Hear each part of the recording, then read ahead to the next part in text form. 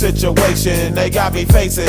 I can't live a normal life. I was raised by the state, so I gotta be down with the hood team. Too much television watching got me chasing dreams.